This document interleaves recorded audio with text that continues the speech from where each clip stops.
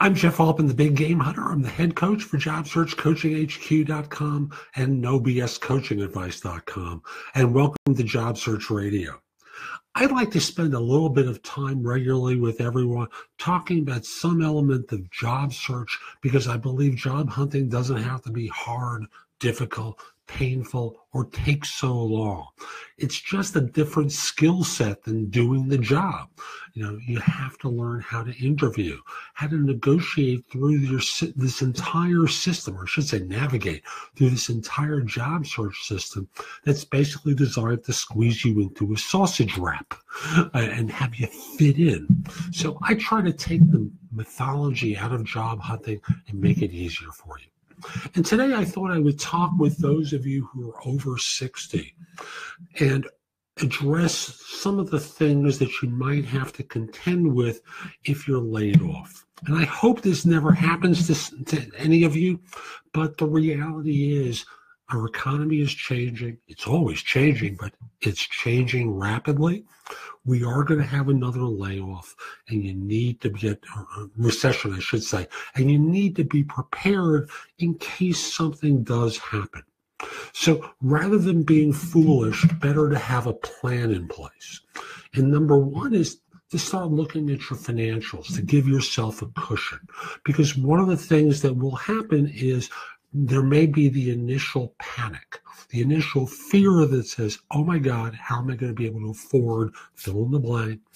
So having a plan in place for what your financials, uh, how your financials are going to be managed becomes probably the biggest starting place for many of you.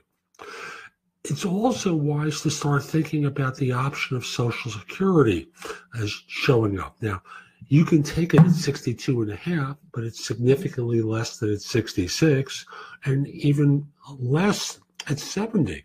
Not only that, if you earn money at 62 and, uh, and a half, you know, you have to pay back a certain amount of money that you earn, and thus it becomes less desirable to to get it.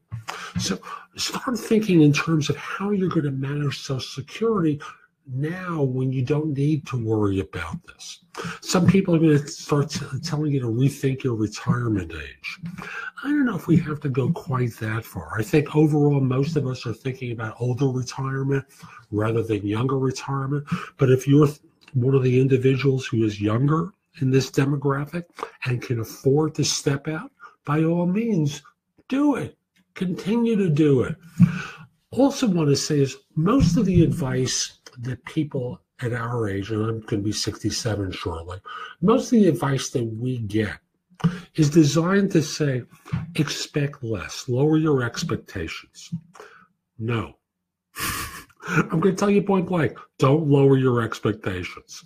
That's part of the the system trying to eat you up and, and maneuver you. Why should you, as a 150,000 or $200,000 a year worker, be prepared to take a 125 job? Number one is you're doing different work than $125,000 a year person's making. You know, I'll simply say your goal as you start your search is to be the best, most powerful you that you can be. I'm going to repeat that one. Your goal is to be the best, most powerful you that you can possibly be and not fit yourself into the system. You know, that system, as I said, it's designed to turn you into sausage and fit into the wrap. So don't make accommodations instantly. Emphasize your power and your strength. If you're interviewing for lower level jobs, hey, that's your prerogative. You know, I've got other stuff that talks about how to deal with the younger hiring manager. But for now, focus in on the best you that you can possibly be. Also, want to say that you know, get some advice, and, and you ought to get some coaching. And, and you know, actually, let me just start with the advice part of this. Talk to people who are your peers. Start to network and start to reach out for advice about how to, to navigate the system. I coach quite obviously, and I'd love to coach you. But the first thing is really to talk with others about where they see you, how they're seeing the market for what you do, and how to be most effective in utilizing your network of resources. I'm just going to remind you that again, the skills needed to find a job are different than those needed to do the job. And you've probably been someone who's been focused on doing the job rather than finding a job. That's why coaching really has a lot of benefit for most of you because we help to translate a lot of the things that you will be experiencing in ways that you can execute on a plan. So if you're open to my coaching you, you know, visit my website, which is thebiggamehunter.us. There's information on the top in different tabbed areas that'll talk with you about the services which I offer, which include resume and LinkedIn profile critiques.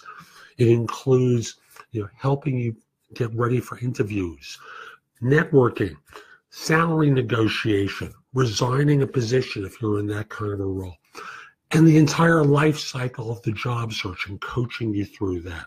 So Again, thebiggamehunter.us. Plus, you can visit my blog there, which has a ton of great information that'll help you find work. But if you find it's too much, I've got the best of it at jobsearchcoachinghq.com, where I have it curated to a manageable amount, and you'll also get discounts on my coaching. Hope you found this helpful. I'll be back soon with more. In the meantime, have a great day. Take care.